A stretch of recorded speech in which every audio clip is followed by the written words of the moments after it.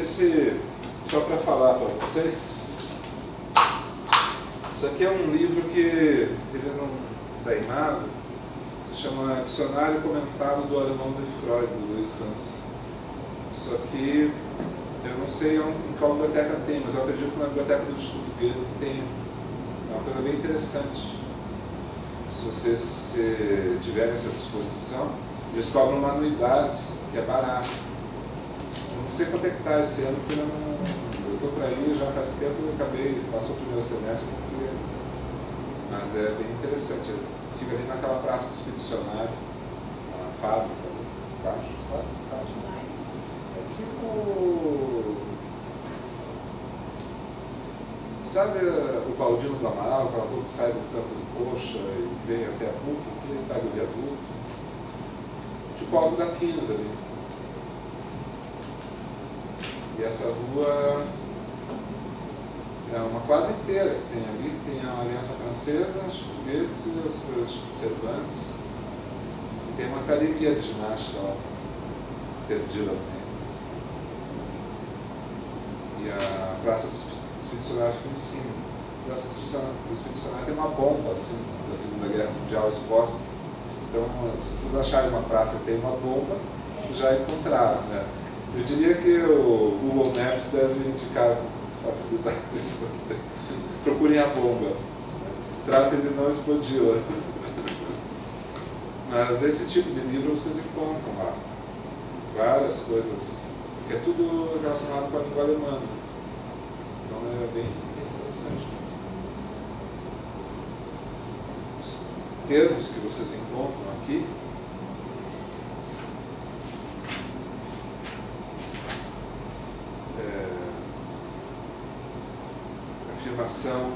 alienação, angústia, a posteriori, catexia, compulsão, consciência, defesa, descarga, desejo,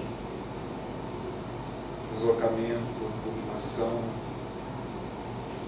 elaboração. É um dicionário. Né? A peculiaridade é que ele é um dicionário etimológico, então ele trabalha também com a origem do, dos termos no idioma alemão, não apenas no Freud. E coloca exemplos da obra freudiana onde aqueles termos aparecem. Então, você tem uma coisa bem rica, bem rica, uma coisa recomendável.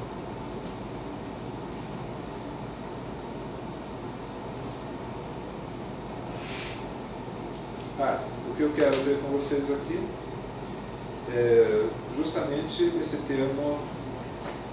Deixa eu desenhar aqui. Justificar esse termo aqui. Ó. É um termo que eu traduzo como ímpeto. E que por aí, na França, eles traduzem como impulso. Por isso eles traduziram pulsão como pulsão confusão. Traduziram primeiro uma parte e depois traduziram é, o todo. Geralmente você deveria fazer o contrário, né? você fala primeiro o termo para o todo, depois você vê o que você faz com as partes.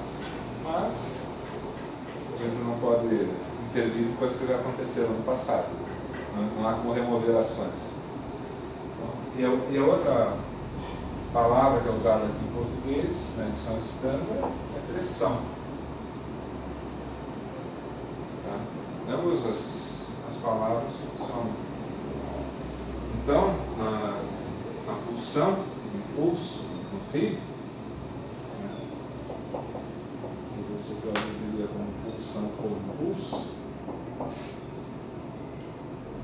o francês coloca esse impulso aqui. Traduzindo claro. Agora, que, que você tem aqui? Você tem na primeira parte a fonte, que é o próprio corpo, live,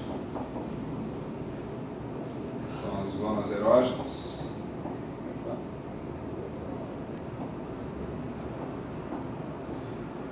Esse corpo, ele produtor de estímulos. Seja lá como a gente entenda isso.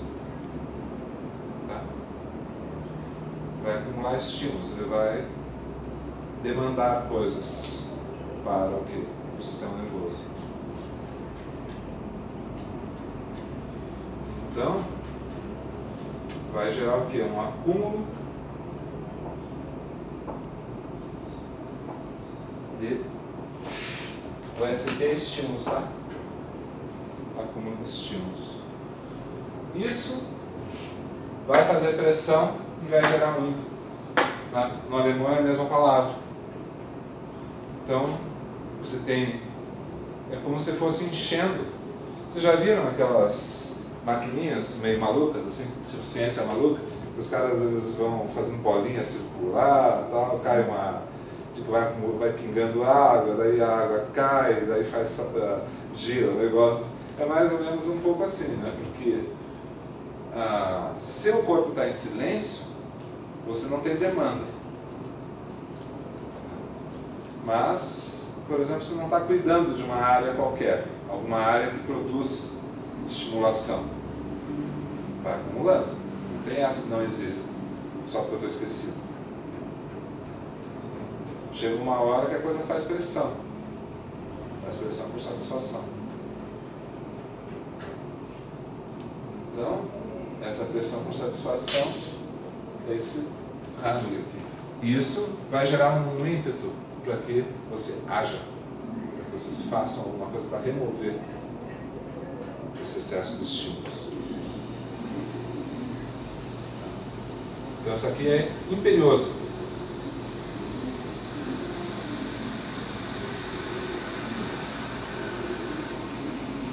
Vai produzir uma exigência de ação. E isso vai chegar na cabeça como uma representação qualquer ligada a um objeto. Hoje nós tivemos ali uma, uma nova notícia de um, né, de um sujeito é, num ônibus em São Paulo, que agora está moda, né? O cara se masturbar no, no ônibus. É, virou moda mesmo. É. é porque vão acontecendo as coisas, né? E é, tem um certo contágio via televisão. É, é, é vir, não é? Viro, vir, Viraliza, né? Viraliza tanto a notícia quanto comportamentos. Né? Os comportamentos também eles são a psicologia de massas ela não atua necessariamente só na proximidade física, mas enfim a, o sujeito está ali com aquela pressão da sexualidade dele e ele age, mesmo numa circunstância onde seria perigoso para ele. E, então, tanto é perigoso que ele foi espancado no ônibus, tal, se, o o motorista não, não visse uma viatura para ele parar, e etc, etc, o cara provavelmente ia ser inchado. Veja o, o nível de risco comparado com o nível de satisfação. Bom, o nível de satisfação é baixo, né? Vamos... E tem os dois lados, né? Porque eu, eu também gosto de observar assim, é, esse movimento pessoas assim, quando estão juntas, né? Que tem esse lado, um exemplo, esse exemplo aí do desse cara, né? Que, e tem o outro lado que a, a massa também ela tem assim uma, uma agressividade latente ali. Claro. Que quando surge qualquer situação, bandido. Opa, podemos matar. Qualquer coisa. Podemos matar alguém. Aí, sabe, faz é. aquele movimento, assim, aquela coisa, força de impulso, né? Porque um vai falando pro outro e dá, ah, não, lá, né? E a coisa vai pegando assim é. Psicologia de grupo sempre. Né? Isso aqui vai exigir, então, uma descarga em algum objeto da efetividade. Esse objeto ele pode ser, inclusive, virtual, não é necessário que seja real. O importante é que tenha conexão. Então, uma pulsão sempre vai ter uma conexão com algum objeto do mundo. Não necessariamente, mas assim, ao ser percebida pela consciência, ela já tem algum tipo de encaminhamento provável, possível. É, dificilmente você vai encontrar isso teoricamente né, no âmbito do psiquismo. Mesmo que o objeto seja virtual, ele é objeto. Mesmo que seja só uma imagem na cabeça. Uma pessoa ela pode devanear, né, ter ali uma fantasia e sentir prazer físico juntos, por exemplo. Só para ficar nessa questão de, de, sexualidade. Não é a única coisa. Por que, que eu estou falando isso? Eu estou dizendo porque é, algo que está voltado para a sexualidade pode ir se satisfazer em outra parte, junto com um outro impulso, entendeu? Qualquer, e se desloca para lá. Não é necessariamente que para ser satisfeito no objeto ideal, objeto real. Ou, né? Não tem tu, vai com tu mesmo. Pode ser um objeto, inclusive, artístico, pode ser um, uma coisa aparentemente desvinculado do objeto original. Pega a carona no outro impulso, entende? E assim funciona também a dualidade de vida e morte. Então, criação e destruição andam juntas. Necessário que para você criar alguma coisa, você destrua outra. Né? Para destruir, você tem uma, uma, uma criação vinculada ali também, em geral dificilmente você vai encontrar uma coisa separada, totalmente separada, uma coisa só vital. Por quê? Porque, por exemplo, se vocês vão ficar com uma pessoa, vocês não vão poder ficar com a outra. E se forem ficar com as duas, não vão poder ficar com a terceira. Se forem ficar com as três, vai chegar uma hora que não vai dar, entendeu? Por mais que o sujeito tenha um harém, não vai ser um harém com todas as mulheres do mundo. Entendeu? Por mais que ele queira, não tem corpo para isso. Então, essas relações elas têm limites, mas elas podem se cruzar. Também a questão da, da destrutividade, né? Vocês, né, você já mataram várias pessoas, vocês sabem que isso dá prazer. Mas é. Estou brincando, mas assim, a, não está desvinculado. Esse é um dos aspectos assim, que às vezes até mesmo assusta né, o criminoso. O cara mata e percebe que tem prazer em matar. Daí ele continua matando. Então, o vínculo da, das coisas é, não é necessário, porém.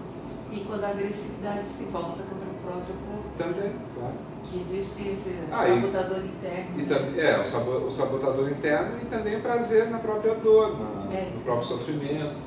Por exemplo, olha que coisa engraçada. Uma pessoa, ela pode justamente quando se apaixona, se afastar. E ela só vai quando ela não está gostando do outro. Isso é comum. Quando a pessoa se apaixona, ela diz assim: Meu Deus, não posso ir, porque eu vou me perder. E aí ela se boicota, se sabota justamente aquilo que é melhor para ela. Né? O que, que é isso? É o, o outro lado da moeda interferindo no processo. Onde está bom, não está bom. E onde não está bom, está bom. Quer dizer, eu fico tranquilo na minha insatisfação, ou seja, eu fico gozando do, do sofrimento, enquanto se eu tiver que sentir prazer, eu não sei mais, eu me perco completamente. Na pré-adolescência das meninas, isso acontece lá pelos 9, 10 anos. As meninas, quando começam a sentir uma coisa em relação ao menino, elas Sair de pau em cima, é chute no calcanhar, é. é... Aí é, é, tá gostando, né? É. Não, e mais, um pouco mais velhas, elas dizem assim, eu não sei lidar com isso. Então eu vou me afastar de você. Não sei lidar com isso. Ou seja, vou me perder, não vou mais fazer as minhas coisas, então é melhor eu nem me aproximar. Vou ficar ali com aqueles caras que não me interessam, entendeu? Que nem me dão muito prazer e nem estou muito apaixonado porque daí eu consigo viver minha vida normalmente. É um tipo de ascetismo maluco, né? Mas real. Isso existe no mundo. Por isso que essas coisas aqui não são só teóricas. Entendeu? Dá a impressão que a gente está falando de teoria. É, é, é, é, o lance da psicanálise é isso, né? Porque às vezes você vai ali nos conceitos, mas traga, tem que trazer para a gente, né? A gente tem que trazer. E outra coisa, qual que é o nosso objeto, objeto aqui? Por que, que eu, eu ressaltei esse, esse lado? Né? Essa, fazer a pressão. Isso aí gera sofrimento. Então, é uma excitabilidade além da conta, né? Que dá aquela excitabilidade que te que, leva que te leva à ação. Então isso faz com que a, esse aspecto do sofrimento esteja muito presente na vida do ser humano. Seja por falta, porque você não consegue objeto de satisfação, ou exatamente a pessoa de quem você gosta não gosta de você. Tem os casos, dá para a gente fazer um catálogo de situações que geram sofrimento. Ou talvez a possibilidade de sofrimento seja muito maior que a possibilidade de satisfação. Isso, esse é o ponto. Precisa. É daí que eu paro hoje. Obrigado por me dar a possibilidade. Tá? Olha só. Isso aqui é o. Vocês conhecem. Não dá para enxergar, que é uma. Uma estreita passagem. O conceito de corpo nas obras de Schopenhauer e Freud. É teu esse? Esse é, Ah, é o último. Você conhece? Eu já não sei. Então, isso aqui está.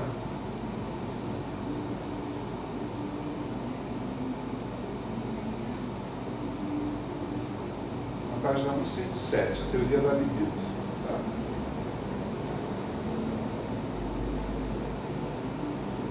Olha só o que, que o Freud fala. Só vou pegar a, cita- a citação dele que está aqui, tá? Na distinção nos três ensaios de 1905, tá? Na distinção entre energias psíquicas libidinosas e outras de caráter diverso, expressamos a suposição de que os processos sexuais do organismo se diferenciam por uma química particular dos processos de nutrição. Então aqui a gente está na primeira teoria pulsional, ele dividia entre fome e amor, ou seja, pulsões de conservação e pulsões sexuais, ou pulsos de conservação, pulsos sexuais. A análise das perversões e psiconeuroses nos levou ao conhecimento de que essa excitação sexual não é produzida apenas pelos órgãos chamados sexuais, mas por todos os órgãos do corpo. Desse modo, construímos a noção de quantidade de libido, cuja representação psíquica denominamos libido do eu. Quantidade de libido, em linguagem pulsional, é acúmulo de estímulos. Porque essa química é o que está operando aqui. entende? E essa química ela também vai ter um efeito psíquico. Tipo, sabe, no teu caso, no caso delas, a tensão pré-menstrual, é uma coisa que é sentida no psiquismo ou não? Sim! é aquela coisa que. Transforma totalmente né, É. Então, não é só uma coisa do corpo, é uma coisa que não existe essa separação efetiva. Corpo, psiquismo, energia, funcionamento, é tudo a mesma coisa, tudo ao mesmo tempo. Tem, é, o corpo não é teórico, ele simplesmente ele opera. Ele opera do jeito que ele funciona. Ele funciona do jeito que opera. Simples assim. Né? E o psiquismo é um psiquismo desse organismo. Não uma coisa né, separada dele. Mesmo que, é, mesmo que a gente venha admitir que existe uma alma separada do corpo, é, enquanto ela está no aprisionada no organismo, ela está né, sob o império dos sentidos. Esse, O esse soberano aqui. literalmente, né? O filme Império do É, então, então, então, é. Isso aqui é o império do corpo mesmo. Né? Corpo, por isso que é difícil. O psiquismo ele não tem vida autônoma, no sentido assim de é, ser uma cabeça alada de um anjo sem corpo algum. Isso só é assim se a pessoa não tiver a percepção. Aí você tem os fenômenos da histeria bem declaradamente. né? O psiquismo ele pode atuar no corpo de tal maneira a esconder o próprio corpo. Você não ter a percepção, por exemplo, da tua perna. Ou você tem convulsões que imitam uma relação sexual, como no caso do Freud. Coisas assim. Então, ah, não existe uma fronteira, uma delimitação que diga que a sua alma está de um lado, seu corpo está do outro, sabe? Eu vou preservar a minha alma do corpo, ou o corpo da alma, sei lá, qualquer coisa assim. Existe a possibilidade eventual né, de, de existir uma alma separada do corpo. não é o nosso caso aqui. A gente está falando de uma pessoa, corpo animado, ou seja, corpo com alma, anima.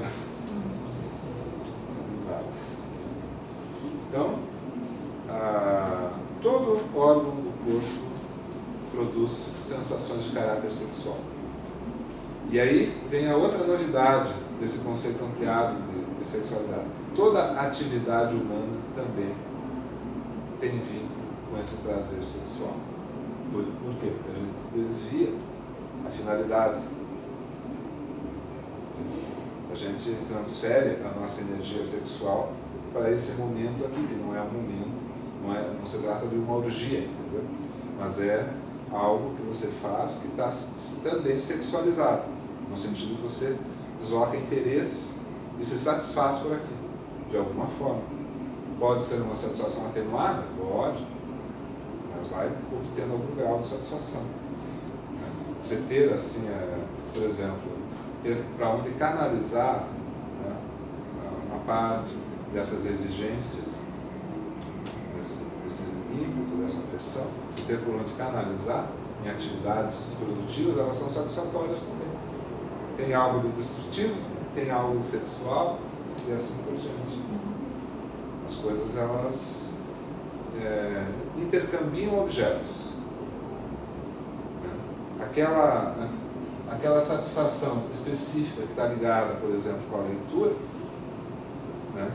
ela vai amalgamar outras tendências, outras tendências, outras formas de satisfação, vai, tudo vai ser canalizado por ali. Toda pulsão quer matar sua fome. Entende? Então, é que nem uma matilha de lobos. Não interessa, se tem. Se alguém abateu a presa, vai todo mundo lá. Já viram? Documentário de vida animal?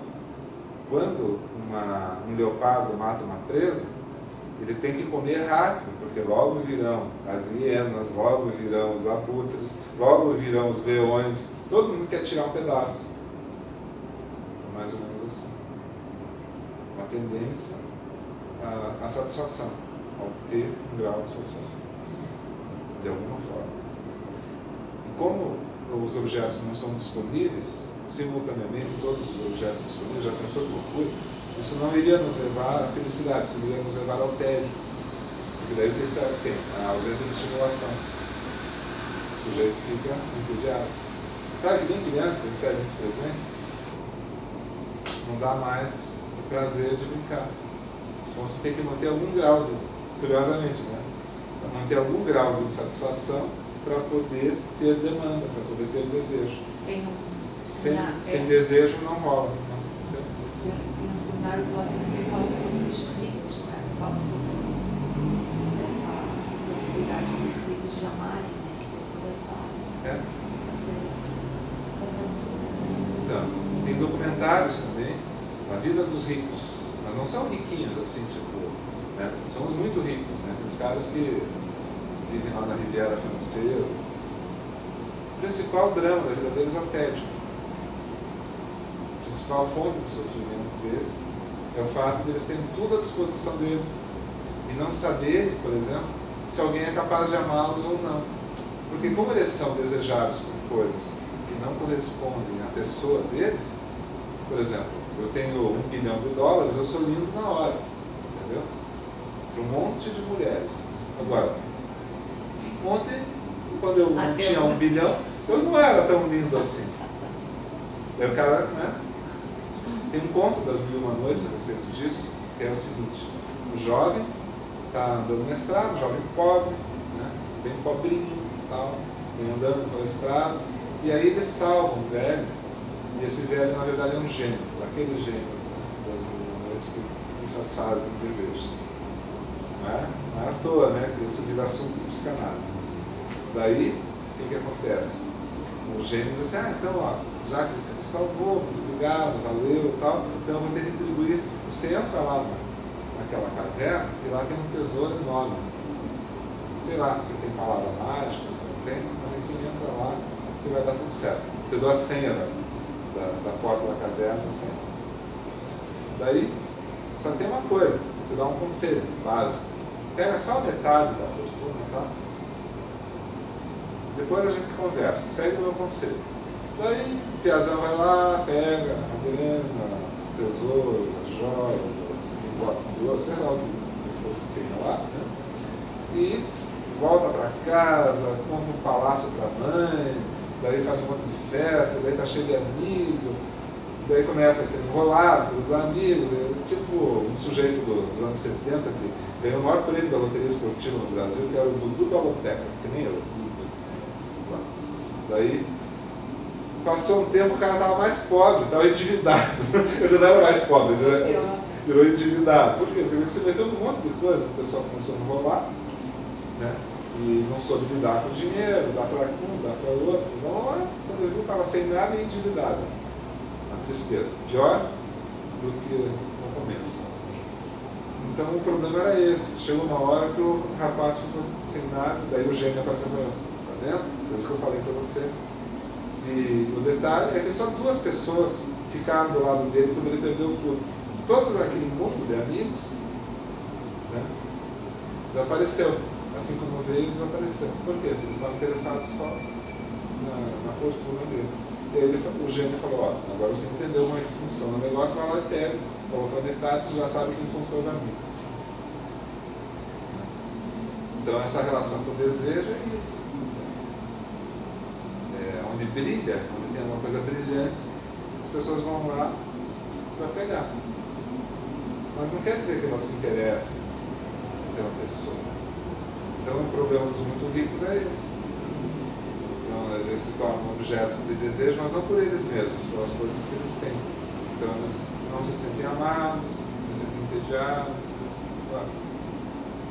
Essa tentação de comprar as pessoas também não é muito satisfatória. Perde a estabilidade. Porque você não tem a conquista, não tem a dificuldade, não tem a corte, não tem né? todas as coisas que vão aumentando o grau de excitação, vão aumentando a pressão. E isso, curiosamente, é estimulante, mas é uma forma de sofrimento. Por isso que a pessoa, quando se apaixona, ela foge. Porque ela quer remover o estímulo. Só que ela já está infectada, então ela vai sofrer do mesmo jeito. Melhor seria aprender a lidar com o amor, né? aprender a lidar com o amor. Mas isso não é tão fácil assim. Né?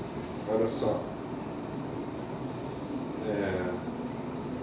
Isso é um problema quantitativo, né? Vai, é um acúmulo real. É como se fosse aumentando a pressão para a realização do desejo. A gente sente como um desejo na nossa cabeça, mas em linguagem pulsional é um ímpeto, é um, é um drang. Desse modo, construímos a noção de quantidade de libido. Em termos químicos, seria uma libido, mas isso aí é uma ficção, tá? Uma ficção para você explicar um fenômeno. É, uma, é algo físico? É. Mas você não tem isso, não é palpável. Pode ser eventualmente descrito pela química, né? ser bem resolvido assim. Mas a, a gente tem sempre que entender que a, a psicanálise é um problema humano, não é um problema físico. Por isso que a neurociência não vai resolver os nossos problemas. Ela pode impedir que a gente tenha problemas, mas também impede que nós sejamos humanos. Porque o humano verdadeiro tem que amadurecer, ele tem que aprender a lidar com os seus problemas. Senão, o que você tem? Um bando de crianças mimadas que não sofrem. Mas elas não sofrem, então elas são birrentas, elas querem tudo para elas, são egoístas. Então a gente está criando um mundo assim. Esse é o mundo que a gente está, nós, a humanidade, estamos criando. É um mundo de desigualdade. É, e sem infância, né? E sem infância. Ontem estava vendo uns documentários no YouTube sobre menores infratores, né? De 9, 12 anos assim, que cometeram. Depoimento deles, né? Então a gente vê que eles é, passou ali eles brincando na favela, né? A brincadeira, brincadeira deles é justamente é arma, arma feita de cano e é assalto, matar, inclusive, eles falam mesmo, assim na lata, né? Que é... Não, eles estão se preparando. Pois é incrível isso. Por quê? Porque essa é a, a forma A gente não tem que ter preconceito. Entende? É, é, é a realidade. É né, uma, é uma realidade semelhante à antiguidade. Né? Na antiguidade, no mundo antigo, se você fosse um cara violento, você era um herói. Você Além bem- do, do corpo físico também tinha É, isso, né? sim. Que os, os- naquela época os homens né, eram preparados para a guerra, daí eles tinham que ter todo né, o arsenal. E aí, hoje isso está, digamos assim, está mais vinculado com a arma, né? Está mais vinculado com o armamento pesado, armamento de guerra usado. E o, o tráfico ele financia esse armamento. né? Então, os caras estão se sentindo poderosos, mesmo que não tenha músculo, para que músculo? Né? O próprio Noel Rosa, lá nos anos 30, o compositor, diz que a, o, é, o, o revólver veio para acabar com o valente. O sujeito ele é valente, beleza, cheio de músculo, todo ninja. Acontece que nem no Indiana Jones lá, que o cara começa a fazer um monte de, de- de gestos de, de, de luta tal na frente dele, ele pega e dá um tiro, o cara, o cara morre. É, é uma cena cômica, né? É cômico, então. É, é, é cômica porque é do cinema, é, é tratado de um modo cômico, mas se você fosse ver aquilo na vida real, seria um assassinato. Vulgo assassinato. Matar uma pessoa. Mas. Por que, que a gente ri? Porque a gente sente satisfação no assassinato. Entendeu? Isso é satisfação. Eu estou mostrando que isso não é teoria. É assim que a gente funciona. Se não parece que a gente está cometendo um crime a gente mesmo, se não parece que é sério, a gente ri. Mas a satisfação ocorre do mesmo jeito.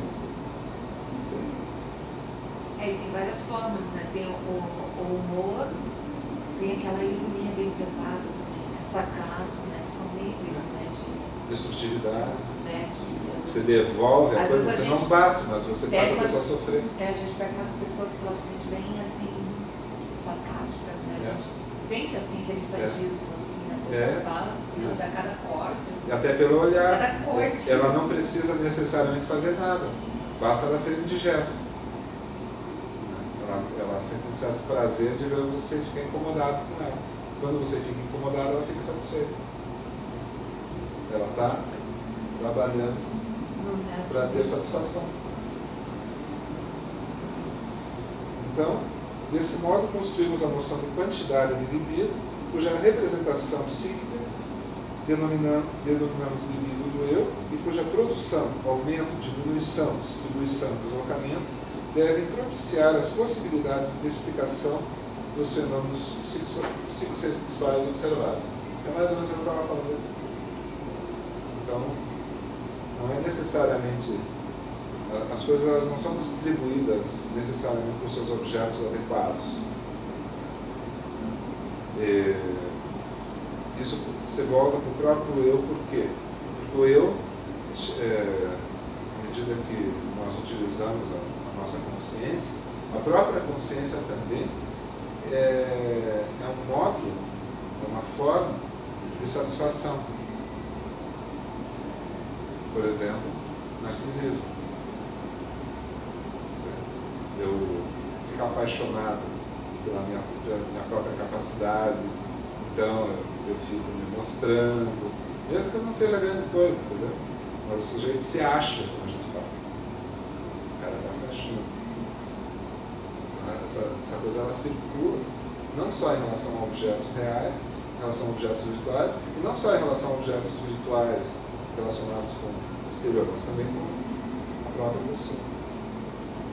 Isso tem a ver com, tem um papel com a mulher e a necessidade, né? De ser amado. é, de ser amada e a coisa da, da beleza física. É. né? É, É uma demanda social nesse sentido, porque se diz que a mulher tem que ser bonita, a mulher é isso, que a mulher é Corpinho aquilo. e tal. Tem que ser, inclusive, não uma mulher, tem que ser a mulher, a única de preferência, a melhor de todas sempre. E não é possível, entendeu? e o, o, Mas é uma demanda, então a mulher sofre também por isso. e o Chico, o Chico Vaz, ele fala uma coisa bem interessante, né? Porque o trabalho dele foi todo em cima de relacionamento homem-mulher, né? Mas ele fala uma coisa que eu acho que tem tudo a ver da mulher, que ela se satisfaz é, é, com a, é, quando a outra pessoa diz que ela é livre. Isso. Existe uma satisfação É. sexual, É sim, claro. né? Inclusive assim, é, se o homem não ama a mulher, dificilmente né, alguma coisa vai operar. Porém, se o homem ama demais, demonstra demais, isso pode ser um problema também. Porque daí, como tem a autoestima baixa, se ele me ama tanto assim, ele não tem valor. Manter uma, uma dinâmica é, que não seja exagerada nesse sentido, para manter justamente a falta da mulher e o desejo dela operando. Então é uma relação complicada justamente porque, queira ou não queira, né, não quer dizer que isso tem que ser assim para a mulher. Né? Mas acontece como existe uma dinâmica social que funciona assim, existe uma forte tendência. Então não adianta situar, por exemplo, o machismo no homem. Né? O machismo é um comportamento social coletivo. No modo como as mulheres educam tanto filhos homens como filhos mulheres. Quer dizer, existe uma participação coletiva no processo. né? Ah, o homem ele não é, é o único responsável pelo machismo. O machismo é uma situação na- no universo E, de é, e- e é uma coisa de grupo mesmo, né? Porque é, existe nessa, nesse grupo de só homens a, a falta da diferença. né? E daí fica naquele discurso sempre, né? Quantas você comeu? É, então, o Ah, homem que não participa disso, ele fica meio deslocado. Né? E quanto é difícil para um cara ser diferente, ser sensível, que eu digo assim, é, se, se ligar né, na, na, na pessoa, pela pessoa, não pelo sexo, E a mulher, muitas vezes, ela não valoriza isso. não valoriza. Ela acha que o cara não merece a atenção dela. Então, quer dizer, tem toda uma, uma, uma coisa meio fetichista no ser humano, entendeu? Não é o fetichista não é um ser humano peculiar. né? Todos somos fetichistas em alguma medida. né? Perversão. Se o cara não tem uma taxa de perversão básica, provável que nem so- sobreviva. Entende? É, então não tem a estrutura pura, é isso que eu estou querendo dizer. Mesmo que predomine alguma coisa, sempre vai ter um pouco da, do, do humano em cada um de nós. Né? Quer dizer, tem trânsito de- desse ponto de vista, não é simplesmente Eu assisti aquele filme, consegui achar em espanhol no YouTube, aquele filme da, é, do nazista e da Ah, sim, o Porteiro da Noite. Poder da Noite. Muito recomendável É um filme assim, muito bom mesmo. Porque isso aí mostra o desejo do ser humano. Então, você pensa assim, Porteiro da Noite, a cineasta chama Liliana Cavani. Cavani é que nem o nome do, do uruguaio que, que joga lá do lado do Neymar, se não me engano, o PSG que brigou com o Neymar. É Liliana Cavani. E o filme se chama Porteiro da Noite. Porteiro da Noite é um ex-oficial nazista. E ele reencontra com uma moça que na época do campo de concentração ele é, a usava sexualmente. Só que daí se desenvolveu uma relação entre eles, dentro desse uso. É uma coisa satisfatória. Você vai dizer, pô, moralmente condenável. I'm so sorry. Ser humano é capaz de tudo. E ela estava casada, É. né? Com, Uma vez que você encontra um objeto de satisfação, mesmo que ele seja a coisa menos admissível socialmente, mas você sentiu prazer com aquilo, não tem retorno. moça. Pois. Mesmo que ele seja repugnante. Por quê? Porque o- os caminhos do prazer não são removíveis. Não adianta assim, ó, tipo, eu não quero sentir prazer. Se você sentir, sentiu. Então, o que, que tem a moralidade a ver com isso? É uma coisa que funciona, uma máquina que funciona sozinha. Você pode fazer o quê? Se abster. Por isso que é difícil você é, parar de fumar crack, entende? Você sabe que aquilo ali é moralmente condenável, que você vai morrer e assim por diante. Mas a memória do prazer te força a buscar novamente a experiência satisfatória anterior. Por isso é sempre melhor não entrar do que tentar sair. Cigarro, ah, parece uma droga inofensiva. Mas, por exemplo, nessa semana mesmo, eu conversei com uma pessoa jovem, né, que fuma desde os 14 anos, então já fuma há 7 anos. Gostaria de parar de fumar, mas não se sente em condições. Tem apenas 21 anos. Eu fui fumante. Eu parei de fumar. Eu comecei a fumar com uma amiga minha que me deu cigarro ali, uma. Amiga. Aí aquelas amigas. Amiga. Nunca me fizeram, mas né? Mas daí eu comecei, porque naquela época, realmente a gente não sabia, ou, esse negócio, não tinha essa informação. Essa do, malícia. Essa, não, essa informação do mal que o cigarro fazia, nem da Sim. bebida. Muito pelo contrário, só tinha propagandas lá do cara fumando lá, faz, fazendo É. alquimista. É, então. Todas coisas que Tinha um cigarro chamado É, é, Continental. Continental. Tinha vários assim, que eles sempre vinculavam com esporte, com mulher bonita, com piscina, com esporte radical, tudo assim, do avesso. entende? Mas por quê? Porque aí você, justamente você vincula o cigarro com experiências prazerosas. Pois é, é o. É isso aqui, E é, e é, técnica. é, e é o emblema também, né? Tá? É o emblema, Sim. porque é uma coisa assim Mas é tudo objeto de satisfação. Pois né? é. E daí vem o narcisismo. Que, que o sujeito ele se empenha? Ele não tem grana para aquilo, mas ele se empenha para ter um carro que possa sustentar, para ter uma lancha. É, é aquela coisa, né? São dois prazeres, na hora que você compra e na hora que você vende. Porque é um troço que você usa pouco, tem muita manutenção, você tem que pagar aluguel para o troço ficar, tem que pagar mecânico, toda hora estar ligando. E aí você usa três vezes por ano. Quando você vê, você gasta um dinheirão com aquilo, chega uma hora que você já quer vender. né?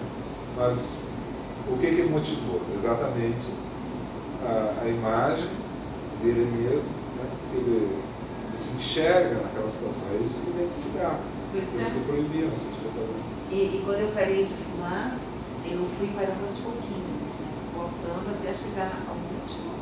Que coisa mais incrível.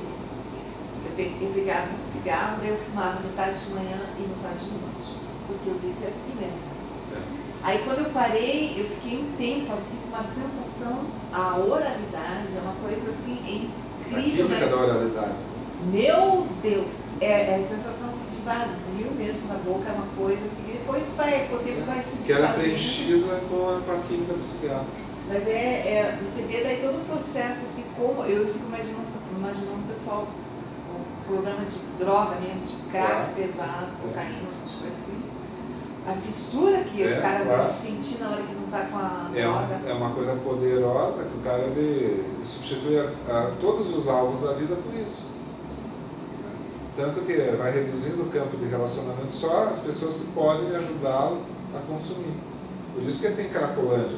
Você vai dizer, pô, é um inferno na Terra, né? Uma pessoa que não fuma crack vai andar na Cracolândia, dá a impressão que está andando no inferno do Dante, lá Divina Comédia. Você diz assim, pô, como é que um sujeito quer viver aqui desse jeito, nessas condições? Um cara que fala três línguas e era professor da USP, não sei o quê, sabe? Estou falando assim aleatoriamente. O cara está lá. Mas é por quê? Porque vai reduzindo, vai reduzindo. Aquele prazer se torna império dos sentidos. Né?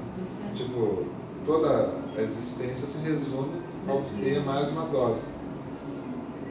O alcoolismo é a mesma coisa. Chega quando o troço pega mesmo pesado, o cara, ele, todas as relações dele, ele coloca tudo em risco para poder viver. Para poder E- acordar é. vivendo. E é gasolina, é álcool, é perfume. Eu tenho porque lá eu conheço o pessoal ali no meu bairro, os, os que cuidam de carro, né? E tinha um, um especial que gente conversava muito, cara muito bom, muito inteligente, menino assim. Né? E o processo de alcoolismo ele foi duas vezes para clínica, daí ele saía bem. Daí aconteceu uma série de coisas e ele retornava e ele morreu faz tempo agora. Com que idade? Ah, Acho que ele já deu uns 20 e poucos. Suspense. Quem, quem dirá?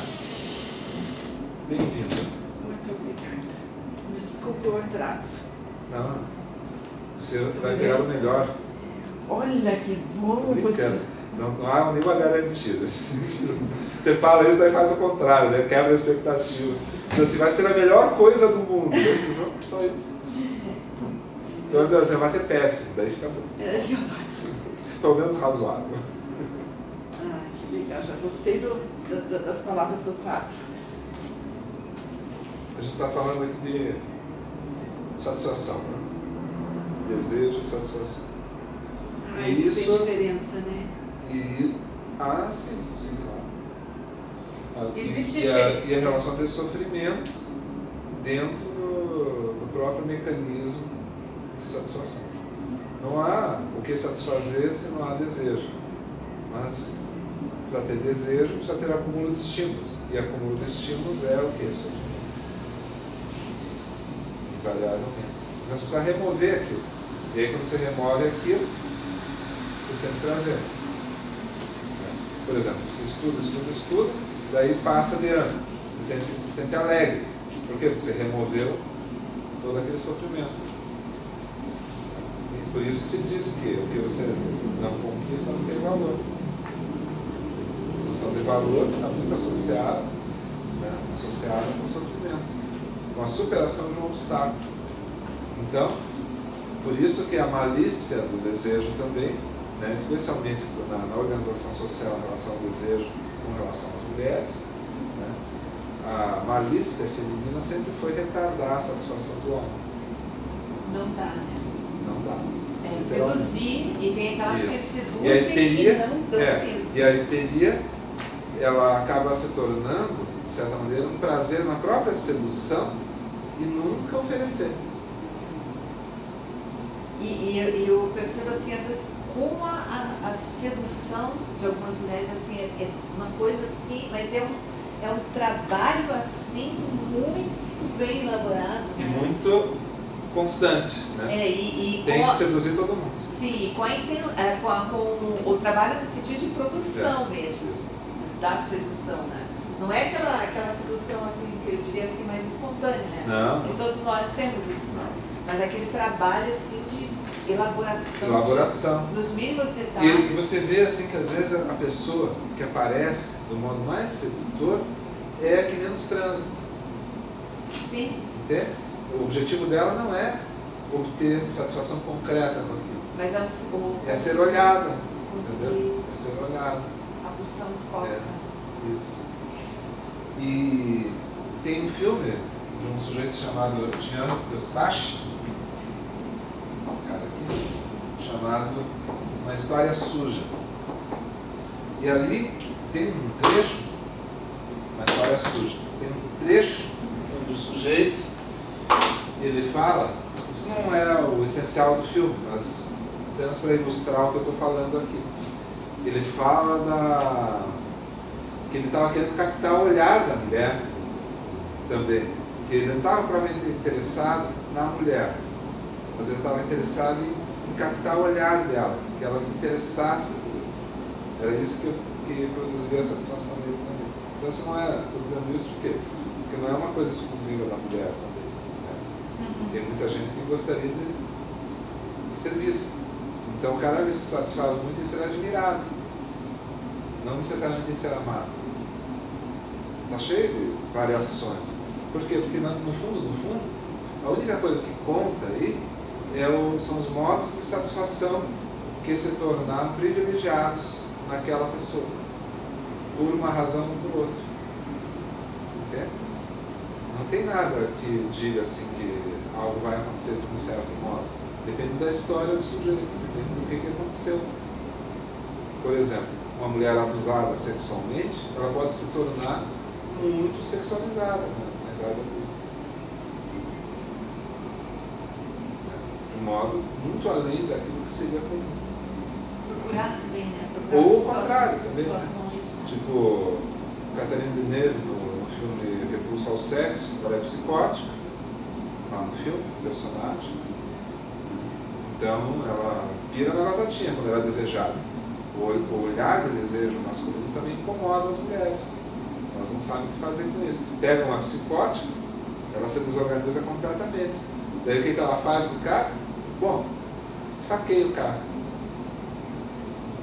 Não porque ela não gostou do cara, mas justamente porque esse é o, ela não consegue lidar com o ser desejado e com o próprio desejo. Então, começa a, literalmente a, alucinar. Começa a ver coisas que não estão, supostamente não estão lá. Ou então são essas coisas que estão e as coisas que a gente vê não estão. Há uma, uma controvérsia. O psicótico ele tem mais certeza do que a gente. Né? Então, precisamos respeitar a certeza dele, o grau de certeza. Porque alucinação é isso, né? É certeza absoluta. Se questiona. Enquanto uma, uma circunstância comum você.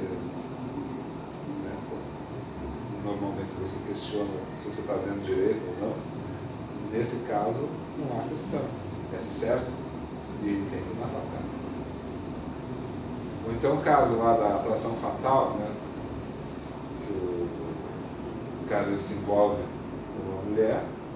No começo é super legal, porque daí tem aquela explosão sexual e tal. Só que daí ele é casado, ele é casado, né? Casado, não sei o que, eu tenho relacionamento, seja o que for, e ele era, só estava em casa na cabeça dele. Agora vai se livrar da mulher. Por isso chama atração fatal. No momento que ele quer se afastar, ele arruma uma encrenca assassina. Daí tem um outro filme também, com, que é o primeiro filme dirigido por Clint Eastwood. Ele é um DJ numa estação de rádio em São Francisco. E daí sempre tem uma mulher que liga para ele pedindo uma música. Aquela circulação. E aí o, ele se encontra com ela tá? e tenta daí se livrar também. É o mesmo caso. Aquela coisa que era tão começo se transforma num pesadelo. Para remover, só matando. Entendeu? Porque a pessoa não vai desistir de você. Você É, me ama. Eu era, era, Sabe assim, não é assim? Você me ama? É, você me ama. Era E aí você se amar, tá bom? É mais- Vai acontecer alguma coisa contigo. Muito grave. É, é. É. Aquilo que, por exemplo, no delírio de ciúme também, o cara mata a mulher, E, e é, é- independente de se ela trai mesmo ou não. Entendeu? Porque, é, de um modo geral, quando você se apaixona, você vive com a pessoa determinado tempo, quando você se separa dessa pessoa, para os dois lados tem essa queda, né? Tipo, Mesmo para quem quer se separar. Tem queda, né? Sim. Isso é- não tem como não ter, porque Apego. você, é esse, essa catexia, esse É, porque isso aqui está operando, É. de qualquer modo. Você está se satisfazendo, inclusive, na insatisfação. Só que Isso no- que a gente tem que levar em consideração. Ne- nesse caso aí é uma coisa de é, é bem é bem o corpo é, o, é um negócio né bem a nível de a posse no sentido de corpo né o, é, a, a a coisa está confundida ali né porque Misturado. porque se, se a pessoa sai é, parece que está perdendo De, de algum modo. algo né É, é a, a sensação que você falou em relação ao cigarro. é. É. Mas pode se confundir. Você falou da satisfação sexual. aí Não, mas a satisfação não significa prazer. Você se satisfaz na dor, né? Não você é. se satisfaz na angústia. Tem gente que fica produzindo, né? fica cultivando bicho de pé para poder passar. Né? Quer dizer, o, o- o prazer é uma qualidade do psíquico. Isso aqui não é qualidade, isso aqui é quantidade e funcionamento. Isso aqui é dinâmica e quantidade. Daí tem um aspecto qualitativo. Né? Mas assim, se eu vou me satisfazer com aquilo que eu chamo de prazer, ou se eu vou me satisfazer com aquilo que eu chamo de dor, delícia do experimentador, como diria o Levinsky. Prazer e dor, delícia do experimentador. São coisas que você prova. Vai dizer Né? Depois vem aquela polêmica moralista assim. Como que pode fazer um funk chamado um tapinha não dói e tal? Não se pode bater numa mulher nem com uma floresta, mas o que, que você vai fazer se ela gosta? Entendeu? E vamos falar sério, né? Sem hipocrisia. Quem que nunca levou um tapa na cara? Né? Eu digo assim, do nada, numa situação de, de, supostamente de prazer. Você tem experiência suficiente, tá? Não estou dizendo assim para pessoa que só tem um relacionamento, é, porque daí é mais questionável, né? O que vai acontecer em um relacionamento. Mas se a pessoa né, circula mais, vai chegar uma hora que ela vai levar um tapão. Não porque a pessoa quer agredir, mas porque ela se satisfaz. E também quer levar um tapão. É a provocação, né? É. É a provocação. Não, é porque, veja, a, toda substância é excitável orgânica, entende? Esse é que é o ponto. A substância é estável. Excitável. Excitável. Excitável. Né? É o, a zona erógena. É isso que eu ia é falar. É isso que o é. nosso amigo aqui está falando. Conhece o tal do Freud? Freud é amigo. Freud é o Freud. Tá Freud e Freud. Você está lendo o que, por favor? Isso aqui é dos três ensaios. Então, é, ó, a excitação sexual, e olha, eu só estou lendo um trecho, olha quanto que a gente fez render. A nossa sopa parece a sopa de pedras do Pedro Malazar. Já ouviram essa história? Sopa de pedras. Não vou contar agora, porque senão vai me atrapalhar, mas me peço para contar. Tem a ver com essa ideia de você fazer uma coisa que não é muito render. Esse é o ponto, essa é a. Então, assim, ó, é, a excitação sexual não é produzida apenas pelos órgãos chamados sexuais mas por, mas por todos os órgãos do corpo. É. E também não é produzida simplesmente por carícias, ela pode ser produzida também por pancada. Por isso que o torturador, o porteiro da noite, né, acaba é, sendo objeto de amor da torturada. Não é assim uma coisa exótica, uma coisa do outro mundo, oh meu Deus, que perversão. É perversão sim, mas é dentro da naturalidade da nossa relação com o corpo o Lacan dizia, né, uma parte do corpo que goza de outra parte do corpo, que é, não é nunca a totalidade. Não, é, é sempre parcial. É, parcial. É. E há observador disso também. Muitas vezes a própria pessoa se choca com ela mesma. Ao descobrir que ela, que ela tem, é, digamos assim, prazeres. Por isso esse troço assim da, da pessoa entrar em conflito com ela mesma, né? Então se ela descobre que ela não tem uma sexualidade convencional, ela, ela tem vários trabalhos. Né? Por exemplo, ela se aceitar, ela ser aceita pelos outros, ela encontrar um parceiro, porque é mais difícil, tem menos gente. Né? Se você está no caso comum, beleza. Agora, se não é tão comum, né? ou se é uma coisa absolutamente execrada pela sociedade, tipo pedofilia. Tipo ser psicopata, né? ter prazer em aniquilar as pessoas aos poucos, né? ser necrófilo. Pode dizer, pô, não é legal, né? Assim, tá tudo bem, mas você não está falando do que era legal, do que é moralmente aceitável. A gente está falando de, de satisfação. O que, que uma determinada pessoa produz satisfação. Sim, e o que levou né, para é. ajudar é. se levar como cadáver. Né? É, uma coisa assim que normalmente você diria assim, diria que é algo desagradável. Né? até de conceber, assim, até de pensar. Mas, se aquilo é aquilo, quer dizer, é assim que funciona naquela pessoa, infelizmente, né? é uma pena. Sinto muito, mas aquela é a verdade. Então, o que, que a sociedade vai fazer com essas pessoas? Né? Uma coisa são é, relações assim que não são muito convencionais, mas são aceitáveis. Outras são, por exemplo, se o cara ele quer te matar e ele sente prazer ter assassinado. Né? Daí entra um conflito. É a mesma coisa que a diferença entre um, grafite e uma, uma pichação. Né? O grafite, por ele ser uma coisa mais agradável, né? sensorialmente mais agradável, é, me, é melhor aceito. Agora, a pichação, porque ela é, ela é feia, desagradável, não sei o quê, daí a pessoa já né, tem é, um sentimento assim, que tem que ser eliminado da paisagem da cidade. a, pergunta que a gente tem que fazer desse ponto de vista é o que está sendo satisfeito? Daí você vai entrevistar o bichador e diz assim, olha, eu não tenho voz. E assim eu me expresso, e assim eu me sinto existindo.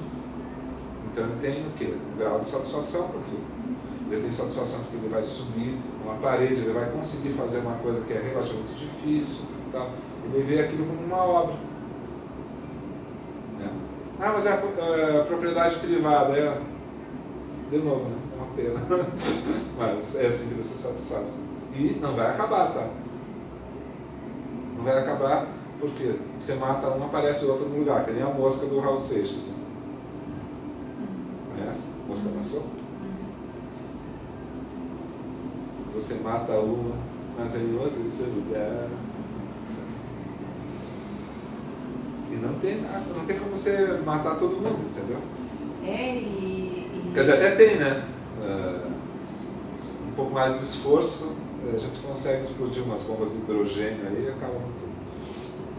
É, tem a ver com a potência, né? É. Até saiu na internet umas figurinhas assim do Trump e do chinês lá.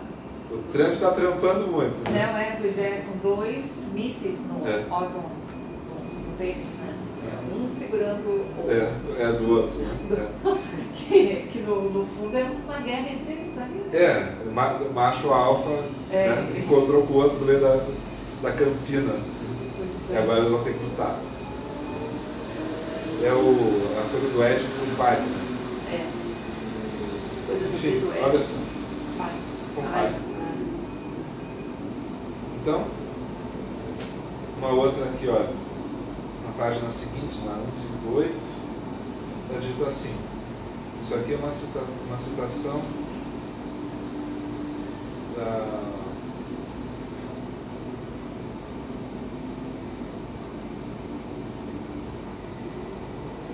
Eu não sei que obra que é, está aqui na referência, mas eu vejo isso depois para vocês. As sensações de natureza prazerosa não tem nada de inerentemente impelente. A palavra é, é em alemão é aquilo que produz ímpeto. Traduzido assim, né? impele, algo impele, provoca, faz com que você haja. Ah, então, sensações de natureza prazerosa não tem nada de inerentemente impelente nelas, enquanto as desprazerosas o têm no mais alto grau. Então, isso aqui é um, é um elemento crucial né, do sofrimento psíquico produzido pela falta. Não é simplesmente por causa de um vazio, é por causa do excesso. Isso que na psicanálise a gente sempre tem que considerar. A gente não sofre por falta, só por excesso. Esse excesso é produzido numa própria é, circunstância íntima do organismo e do psiquismo. Por quê? Se eu não tiver, se eu me dopar, se, se alguém fizer uma castração química comigo, vocês vão estar aí e eu vou estar totalmente diferente a vocês, entendeu? Não tem falta nenhuma. Mas aí tá. É, isso cura, né? Curar as pessoas, às vezes faziam. Até os anos 40 faziam isso. Castração química. E aí o que, que produzia na pessoa? Suicídio. Porque a pessoa ela não sente mais o, o ímpeto, mas daí o que, que acontece? Né? Ela, ela desequilibra todo o sistema. Então não é nem um pouco fácil, estou querendo dizer com isso, não é nem um pouco fácil lidar com esse universo aqui. Isso aqui não é só teoria. A metapsicologia ela não é só teoria. Ela é um jeito de compreender, de um ponto de vista teórico, coisas muito concretas. Isso aqui não é só desejo, entendeu? Isso aqui é uma relação bem mais ampla. E por isso você precisa de determinados conceitos que não são diretamente apreensíveis. Né, da... Vocês não. O Loparic está certo nesse ponto de vista. Você não encontra por aí essas, essas partes da, da pulsão. né? nem a própria pulsão. É um modo de descrever. Mas não é descrever uma coisa assim que, que não existe, entendeu? Não é falar de asa de anjo. Falar de coisas bem concretas. Você pode ver, a gente não saiu nem um pouco aqui para falar de coisas que estão fora desse mundo, só coisas que existem. Coisas que, que são totalmente ligadas à, à realidade. E olha só. Enquanto as desprazerosas eu tenho mais alto grau. Porque elas são acúmulo de estímulos. Esses estímulos precisam ser removidos. Ah, as últimas impelem no sentido da mudança da descarga, e é por isso que interpretamos o desprazer como implicando uma elevação e o prazer uma redução da catexia energética. Ou seja, essa, esse acúmulo de estímulos, o prazer significa na lógica freudiana, uma remoção. Enquanto no sofrimento, uma produção de acúmulo desses estímulos. E isso vem de Schopenhauer. Exatamente a descrição que o Schopenhauer faz. E esse é o teu ponto, Wilson. Pois é, estou escrevendo sobre isso, então está sendo muito importante. Parece coerente? Você acha que está sendo coerente? Muito, muito, muito. Eu estou meio inseguro. Eu queria gravar isso aqui, escrever tudo. Sei lá, vou te dar a aprovação de vocês. Muito né? mais claro. Senão não me satisfaço. É, pois é. Daí eu queria mostrar aqui só né, o que, que o termo Befriedigung, em alemão, que é satisfação, significa, tá? Na página 405 aqui do, do, do dicionário do Luiz. Por isso que eu estou dizendo que é legal, senhor. Ele reúne Ele, todo dicionário é legal, né? Ah, não, sim, sim. É, é, Eu sou um, é lei- latim. um leitor, na minha, na minha infância eu, eu lia muito dicionário, Não, é. enciclopédia, não É. tinha internet, né, então era tudo livro. Mas eu adorava, adorava. E a semelhança Eu não queria conhecer nada específico, eu ficava folheando para ver o que, que eu ia descobrir lá dentro. Tinha coisa de botânica, tinha coisa disso, daquilo. E antigamente tinha História de ilustrados, né? é. eh, dicionários Desenhos. ilustrados, assim, que, que era muito legal. Enfim. Hoje em dia se tornou mais banalizado por causa da internet. Né? Então, ó, esse termo corresponde à satisfação, mas possui conotações diversas do termo português. Grande. Befriedigung, satisfação. Ah, desculpe. Frieden significa paz. Em suas diversas acepções, o termo eventualmente pode significar contentamento, alegria, mas em geral se refere a um aplacamento de necessidades. Se satisfaz necessidades.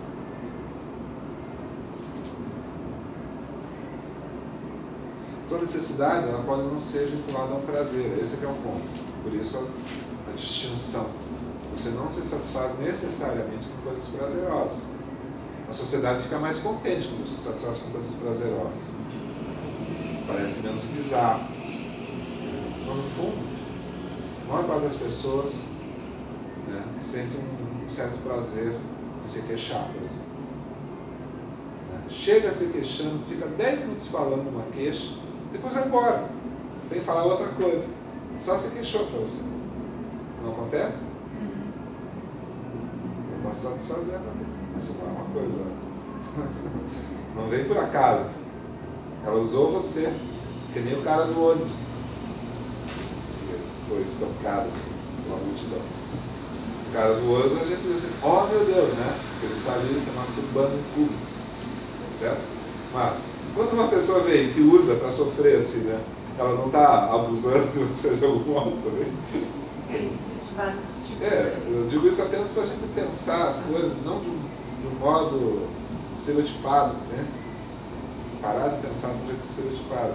Compreender melhor os fenômenos, porque é, aqui todo mundo tem da área da psicologia, né? Então, a gente está em casa falando isso.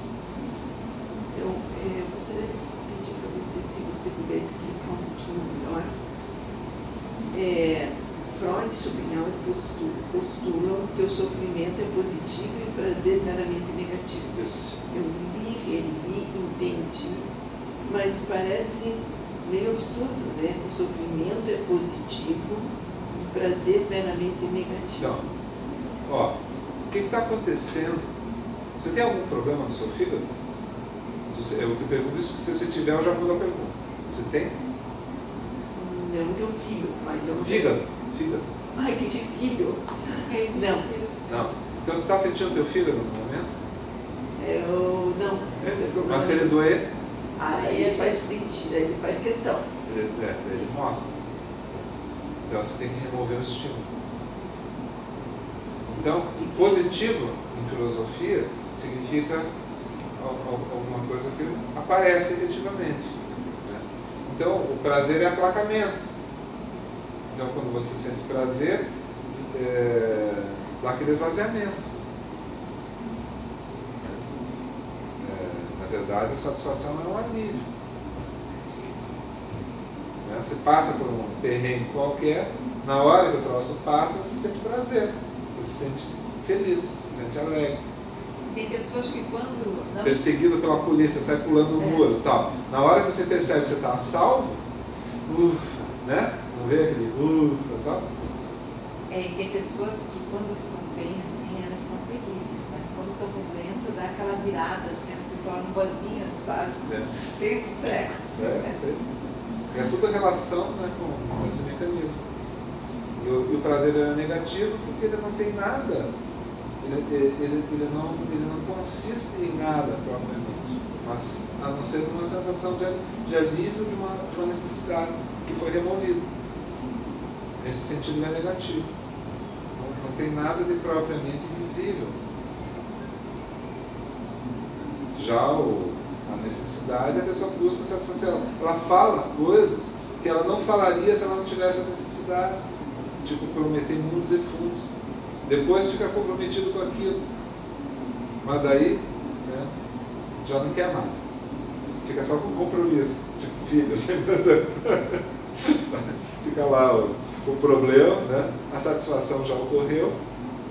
E o cara nem quer mais aquela mulher, quer a outra, quer a próxima e fica com, com o problema. O problema é positivo. O prazer, né? Mas é meramente negativo. É. Então, olha só. Então, do ponto de vista conotativo, vai apaziguar o estado de inquietude. E o Freud emprega essa palavra geralmente em conexão com o aplacamento das reivindicações pulsionais.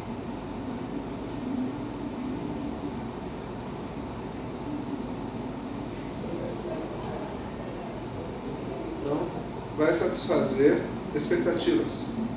E essas expectativas, enquanto elas não são satisfeitas, elas nos produzem angústia, né, desprazer.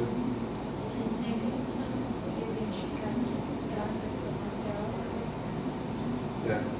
É, E o próprio estar no mundo pode ser fonte de, de sofrimento em si mesmo. Né? Porque o mundo ele, ele pode gerar insatisfação sem é, nem prometer e nem oferecer satisfação. Por exemplo, você andar em ruas perigosas, sujas, cheias de problemas, de assalto, de assassinato. Eu vi a imagem de uma moça indo para o trabalho hoje lá no Rio de Janeiro, medo de levar tiro, entendeu? Tipo, é comum, todo dia de manhã alguém morre, todo, toda noite alguém morre. Né? Então, qual é a expectativa de satisfação? É que aquilo acabe. Né? Mas se aquilo acabar e tiver paz na, na favela, lá, na comunidade, ah, isso não tem um, um, uma característica positiva, entendeu? Simplesmente vai reduzir aquele estado de, de aquela, aquele mal-estar? E a pessoa, na hora que isso acontecer, ela vai ter a sensibilidade. Mas ninguém vai ficar feliz com isso durante 20 anos, entende? Vai chegar uma hora que a pessoa esquece que um dia foi violento também e vive normalmente. Daí ela vai ter outras relações de prazer e desprazer. Outras coisas. Não é que daí ela vai ser feliz. Se fosse assim, os noruegueses não se suicidariam. E o norte da Europa é campeão de suicídio. Né? Por quê? Porque justamente reduzindo muita taxa de necessidade para satisfazer e não consegue colocar alvos de outra natureza. E a gente sempre procura, né? a gente fala seus pais, né? que a gente procura é, nada é o acaso. Se vai, se estabelece em contato com uma pessoa e existe aquela outra pessoa que é onde existe uma relação que a gente chama de publicidade, mas, mas é derivada desse, desses fatores, né?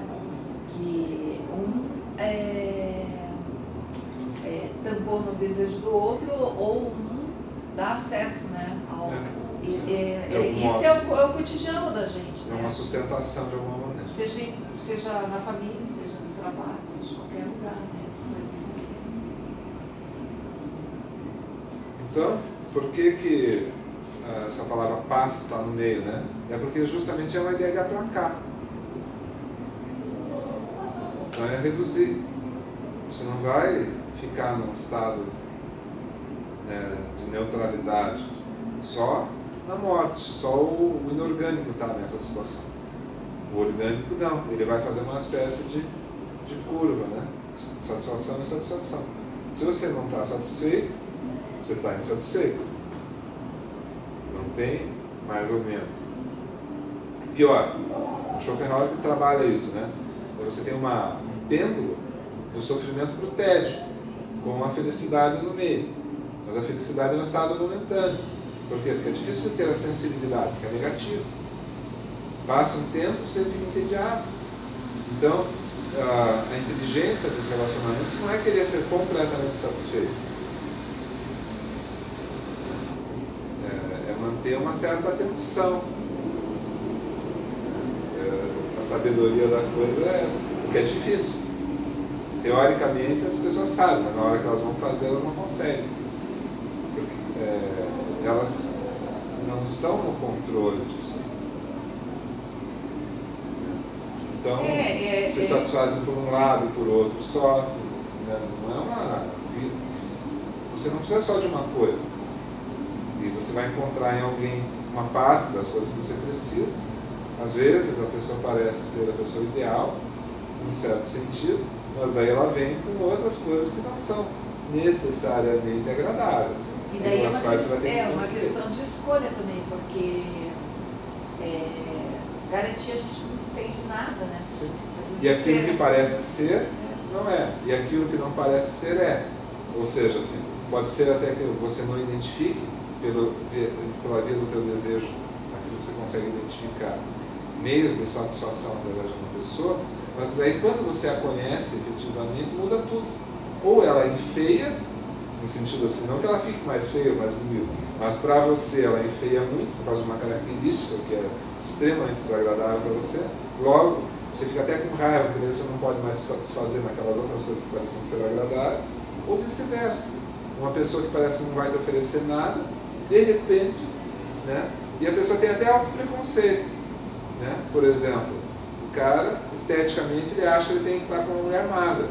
Mas sabe, ele acaba descobrindo que ele gosta mesmo é de uma gordinha. E ele tem alto preconceito. E fica sofrendo na vida. Ao invés de ir aonde é bom para ele.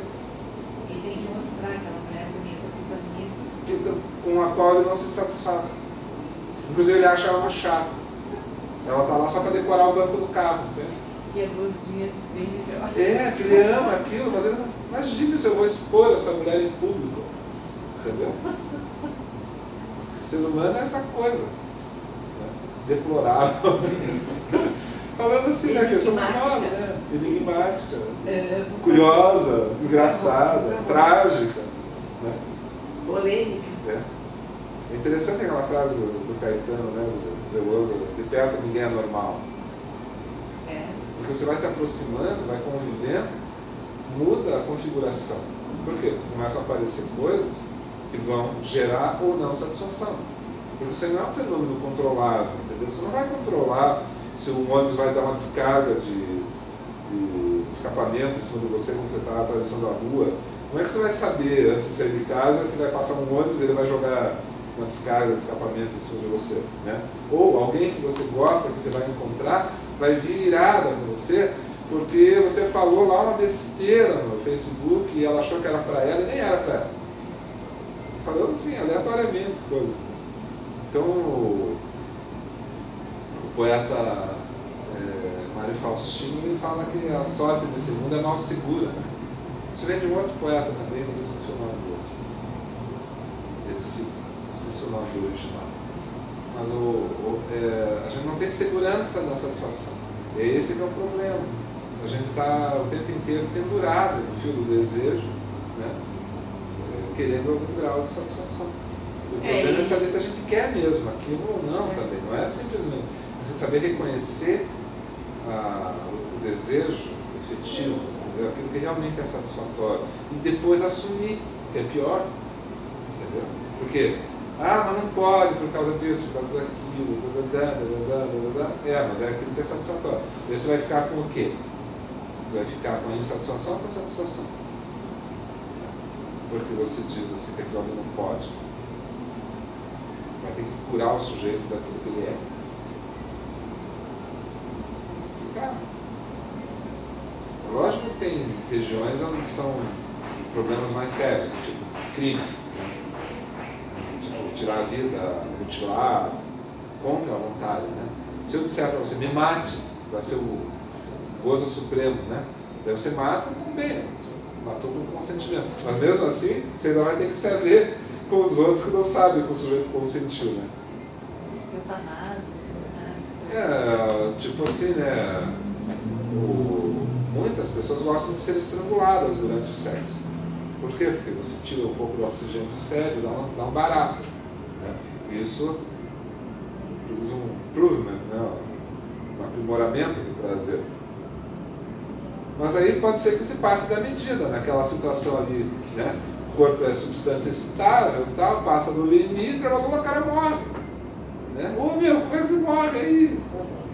Agora, sou assassino, né? Involuntário, né?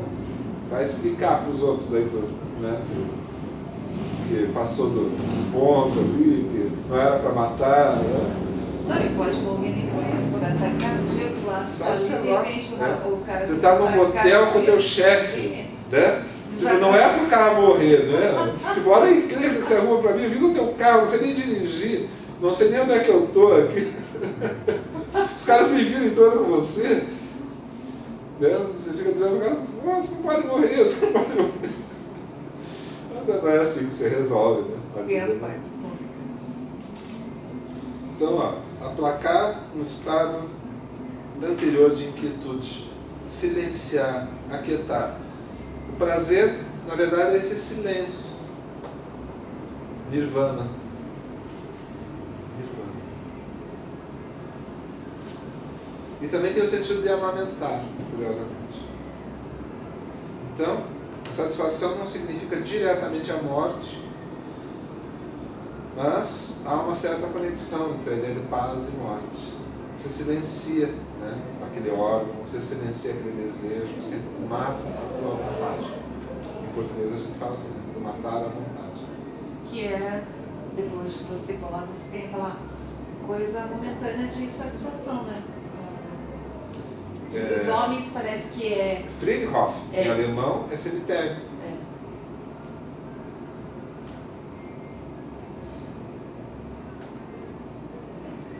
Pátio da Paz. É, a gente fala assim, jaz em paz, né? descansa em paz. É, a sexualidade e morte tem um vínculo profundo. Isso incomodava profundamente o Freud. Na verdade, ele, ele- toda essa pesquisa freudiana, de certo modo, tem relação com a remoção desse estilo, né? desse incômodo representado pela própria sexualidade e pela morte também. E quando ele vai pesquisar a neurose, ele sempre vai perceber que ao fundo da neurose tem sempre sexualidade morte.